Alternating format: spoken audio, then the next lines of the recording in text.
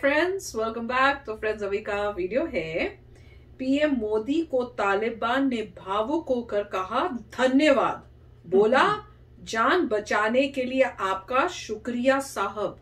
अरे वाह।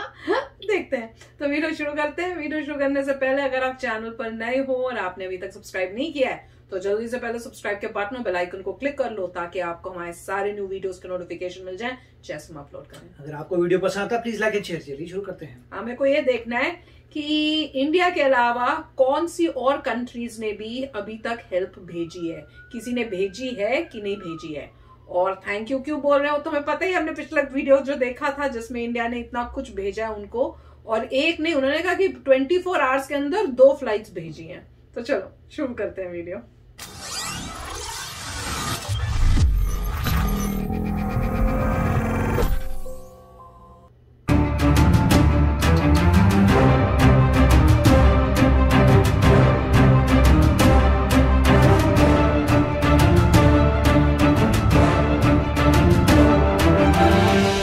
हर वक्त आप किसी की मदद नहीं कर सकते हैं, मगर जो आपके सामने है, उसकी तो मदद कर सकते हैं। लेकिन भारत एक ऐसा देश है जो हर वक्त मदद के लिए तैयार खड़ा रहता है। पीएम मोदी की अगुवाई में भारत ने श्रीलंका, बांग्लादेश, अफ़गानिस्तान की न जाने कितनी दफ़ा मदद की। और अब भी करता आ रहा है। जिसके बाद पीएम मोदी की खूब तारीफ़ भी होती रही है और मदद पाने वाले देश भारत के सामने नतमस्तक होकर पीएम मोदी को शुक्रिया भी कहते रहे हैं। अब एक बार फिर से ऐसा ही हुआ है क्योंकि भूकंप की त्रासदी झेल रहे तालिबान शासित अफ़गानिस्तान ने गेहूँ चावल मिलने के बाद भारत को शुक्रिया कहा है।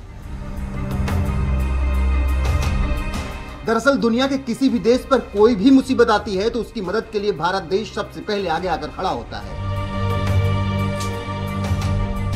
भारत हर कदम पर हर मुसीबत में दुनिया के तमाम देशों के साथ मजबूती से खड़ा रहता है। और अब जब अफ़गानिस्तान भूकंप के बाद तबाही झेल रहा है तो भारत इस देश के लिए मसीहा बनकर सामने खड़ा हो गया है। और देश के प्रधानमंत्री नरेंद्र मोदी के एक आदेश पर सैकड़ों कुंतल राहत सामग्री अफ़गानिस्तान पहुँच गई। जिसके बाद भारतीय विदेश मंत्रालय ने अपने बयान में बताया 22 जून 2022 को अफ़गानिस्तान में भूकंप से हुई भारी तबाही के बाद दो दिनों में दो विमानों से 27 टन आपातकाल राहत सहायता अफ़गानिस्तान भेजी गई है। हमेशा की तरह भारत अफ़गानिस्तान के लोगों के साथ खड़ा है, जिनके साथ हमारा सदियों पुराना नाता है। अब जब भारत ने भूकंप से हुई तबाही के बाद राहत भेजी तो तालिबान ने भी इस फैसले का स्वागत किया। तालिबान के प्रवक्ता अब्दुल कहर बाल्खी ने अपने बयान में कहा, इस्लामिक अमीरात ऑफ़ अफ़गानिस्तान भारत की तरफ़ से काबुल के अपने एम्बेसी में डिप्लोमेट और टेक्निकल टीम को भेजे जाने, अफ़गानिस्तान के लोगों के साथ अपने रिश्ते जारी रखने और मानवीय सहायता के फैसले का स्वागत करता है। तो अब आप बकायदा समझ सकते हैं कि किस तरीके से भारत की सहायता मिलने के बाद तालिबान ने दिल से धन्यवाद किया है और 27 टन की सहायता मिलने के बाद वो बेहद खुश है। वहीं आपको बता दें कि 21 जून को अफ़गानिस्तान में इतना भयावह भूकंप आया कि एक पल में अफ़गानिस्तान दहल गया। छह दशमलव एक की तीव्रता वाले इस भूकंप ने एक हज़ार से ज़्यादा लोगों की ज़िंदगी ले ली, जबकि 1500 से ज़्यादा लोग घायल हो गए। जिसके बाद तालिबान ने दुनिया से मदद की अपील की, हालाँकि कोई भी देश सामने आने की जहमत नहीं उठा पाया। सबसे पहले भारत ने ही मदद भेजी और भरोसा दिया कि हम साथ खड़े हैं। वैसे भी भारत देश के प्रधानमंत्री नरेंद्र मोदी इस दुनिया की मदद करने के लिए हमेशा आगे खड़े रहते हैं और कई बार करके दिखाया भी है और हर बार उनकी तारीफ़ भी होती है। बता दें कि अफ़गानिस्तान में भूकंप में हुई तबाही के बाद ही पीएम मोदी ने ऐलान कर दिया था कि भारत मुश्किल समय में अफ़गानिस्तान के लोगों के साथ खड़ा है और जल्द से जल्द हर संभव मदद पहुँचाने के लिए तैयार है।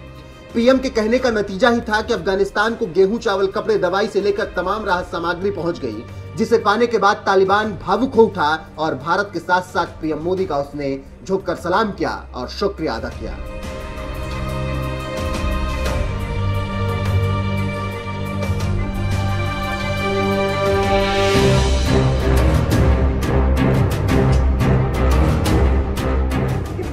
जा रहा है रिज क्या लिखा है? तो फ्रेंड्स इंडिया का तो जवाब नहीं है कि जहाँ हेल्प चाहिए सबसे पहले इंडिया जो है हेल्प के लिए आ जाता है। अब इसमें भी देखो कह रहे हैं कि तालिबान ने पूरे वर्ल्ड से मांगी हेल्प और कोई भी नहीं आया है। अब इस वीडियो से तो यही लग रहा है कि कोई नहीं आया सिर्फ़ इंडिया आया और जल्दी से इंडिया ने हेल्प की है और दो एयरक्राफ्ट भेजे हैं। और जो हमने पिछला वीडियो देखा था उसमें दिख रहा था कि स्लीपिंग बैग्स लिखे हुए थे वो भेजे थे। अब इस वीडियो में पता चल रहा है, गेहूँ, चावल और बाकी और भी कई चीज़ें इंडिया ने भेजी हैं ज़रूरत की और अमेजिंग बात यह है कि गेहूँ बेचना, भेजना, खासकर आज के टाइम में जब गेहूँ की इतनी कमी हो रही है, सारे वर्ल्ड पीछे पड़े हुए हैं कि जहाँ से भी गेहूँ मिल सके, वो किसी तरह से अरेंज करें। इंडिया ने यहाँ पे अफ़गानिस्तान में गेहूँ उस टाइम पर भी भेजा है। दैट इज़ मैं वो सोच के मतलब मैं तो बड़ी अमेज्ड हो रही हूँ कि देखो, उसके बावजूद नहीं तो कोई और कंट्री होगी, वो कहेगी, भैया, इतना शॉर्टेज हो रही है अभी वीट की, हम या तो एक्सपोर्ट करें जिससे हमें पैसे मिले और या हम अपनी कंट्री में अपने लिए रखें। कोई ऐसे मतलब किसी की हेल्प के लिए क्यों भेजेगा? वो भी उस जगह पे, जहाँ पे जो गवर्नमेंट बनी हुई है, वो किस टाइप की है, वो हम सबको पता है। अच्छा मज़ेदार तब होता कि अगर ये ना उस, इस वीडियो में उनका बोलते हुए थैंक यू करते हुए का भी एक क्लिपिंग लगा दें। वो देखने का बहुत मन है कि किस तरह से वो थैंक यू बोलते हैं। क्योंकि जो वो दिखा रहे थे कि जो भी उनके स्पोक्स पर्सन है या जो भी वो बोले थे उन्होंने जो लिख के बताया वो इतना मुझे लगा नहीं कि जैसे बहुत ग्रेटफुल की तरह से बोल रहे हैं। इतनी हेल्प के बाद। तो वही देखिए कि एक्चुअली हमें जब वो अफ़गानिस्तान के जो ऑफिशियल हैं वो शायद पश्तो में बोल रहे होंगे वो देखना था हाँ। कि एग्जैक्टली exactly वो क्या बोल रहे हैं हाँ, और उसका वर्ड टू वर्ड आप ट्रांसलेट करें हाँ। क्योंकि अल्टी स्टार्टिंग में तो यही लिखा था कि उन्होंने बोला है थैंक यू मोदी जी को साहब वगैरह हाँ। तो वो देखना था कि उनका कौन सा फॉरेन मिनिस्टर है कौन है स्पोक्समैन जिसने वो बोला होगा पश्तो में मोस्ट लाइकली उसका कन्वर्जन कन्वर्ट करेंगे उसका ट्रांसलेट करेंगे तो क्या वर्डिंग आ रही ये देखनी थी बिल्कुल मगर चाहे कोई मतलब थैंक करे ना करे पॉइंट होता है कि आपने अच्छा काम कर दिया, कर दिया। होता है। ये बिल्कुल वही कॉन्सेप्ट है कि नेकी कर दरिया में डाल हमें फ़र्क नहीं पड़ता वो क्या बोलते हैं? अल्टीमेटली आपने अच्छा जेस्चर किया आपने हेल्प की।